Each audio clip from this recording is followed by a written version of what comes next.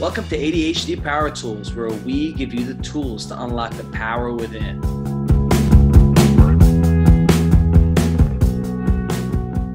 Hello, Brooke. Today, I want to talk to you about creativity.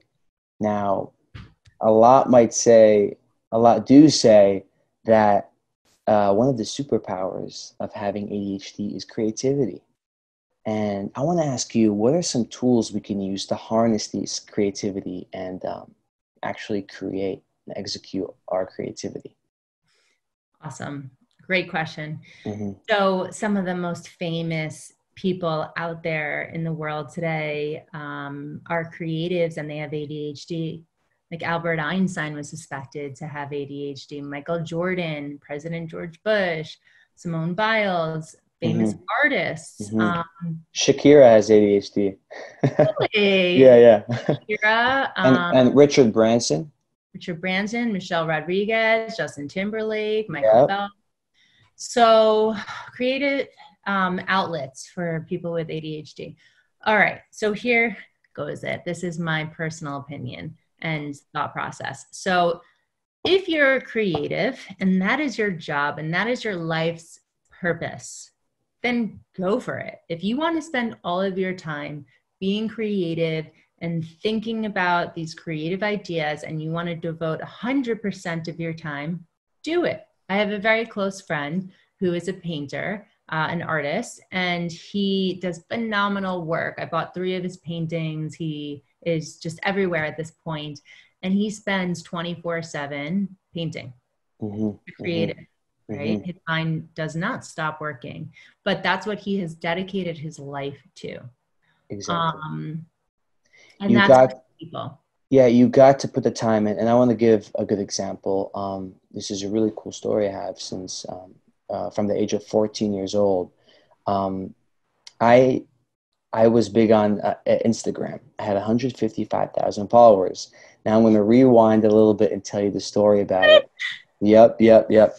Um, I started off um, by seeing this Instagram account who would do designs on Photoshop for uh, soccer players, photos of soccer players. And I was big on soccer. You know, I'm from Lebanon, and that's the big sport over there. And I just came, uh, just came back from Lebanon freshman year of high school, and I was bored out of my mind because there was a new world. You know, and uh, I, all my friends were back in Lebanon, and I had so much time on my hands. And I would go on Instagram and see these accounts adding um, photos of soccer players I figured out how they do it on my phone with some, you know, cool editing apps and Photoshop, and I got into it. And, you know, I do with contact and direct message uh, many um, other uh, soccer accounts uh, who have a lot more followers than me, and I'd start editing photos for them. Now, the thing is, I spent all my time on this, and uh, all my, you know, creativity was mainly on this and I put so I put yeah put, yeah exactly. And I put a lot of other things aside like my studies finding friends etc but I did end up finding a friend or two and they became my team for example to help me execute all this. I would send them every edit every idea and they would help me along the way. And then eventually you know one year later I'm at 30,000 followers and I came up with another cool idea with this comedic Instagram account for soccer as well. And it blew up millions of followers um, started million million follower accounts start posting my content. And um, i reached 155000 followers after six months. And i owe it to um, working as a team with my friends who helped me. People are going to hire you after listening to this. Drop a degree and build up everyone's instagram page. Exactly exactly. And um, yeah that's the thing. It's uh i owe it to all the time i put into it putting all your time into that creativity that on it can and it could be drawing it could be editing videos it could be entrepreneurship it could be anything.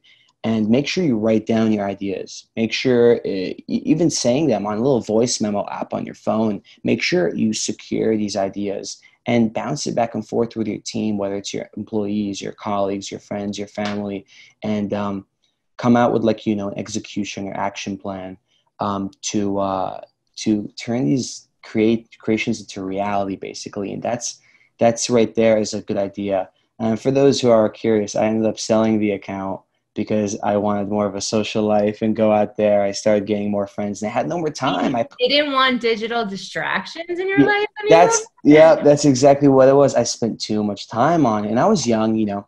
And um, but that right there is an example of uh, how you can how us ADHDers are so creative. You know, when we have that little idea, we can run with it and go and blow it up for sure. Yeah, but also to a detriment, right? I like how you said um, speak with your friends, close colleagues who become like the managers, the COOs, people that you can talk to and really farm through your ideas because mm-hmm. many of us ADHDers always have these creative, shiny, bright new ideas, especially mm-hmm. once we're entrepreneurs. Mm-hmm. And what do you do with all of them? You can't do everything at once, everything that pops into your brain, or can you?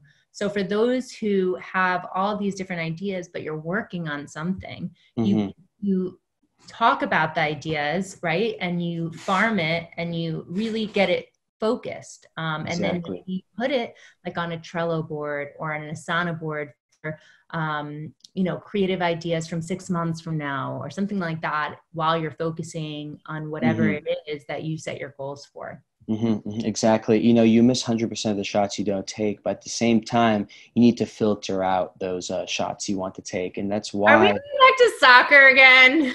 Now i'm going to be laser focused on all your soccer puns oh goodness. No see that right there wasn't necessarily soccer but that was a good soccer pun and um, yeah, you know, um, filter out those uh, little shots to turn them into goals.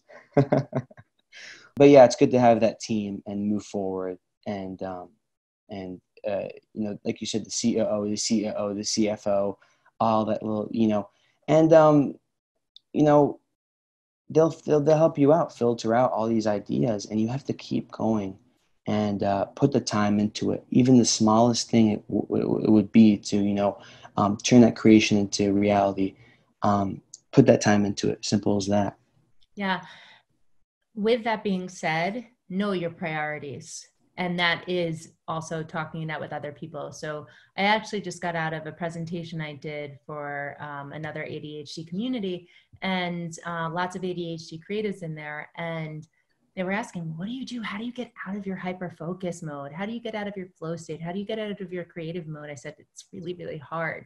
So knowing when you get into that mode is super important.